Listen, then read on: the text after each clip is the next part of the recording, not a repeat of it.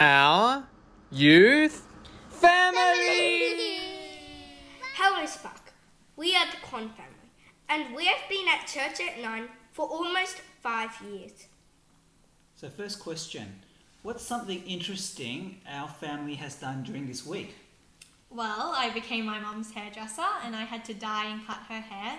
Uh, we've also been having a lot of desserts. Um, tiramisu has become one of our new lockdown favourites. And I also got to choose my subject electives that I want to do for next year, which one of them will be philosophy and theology.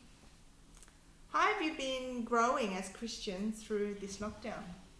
Uh, our family have been doing some regular family devotions um, using the book uh, My Rock, My Refuge by Tim Keller.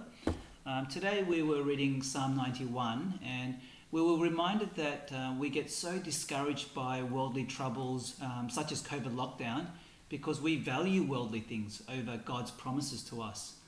Um, so please pray that we would um, grow more like Jesus um, during this uh, time of lockdown in our suffering.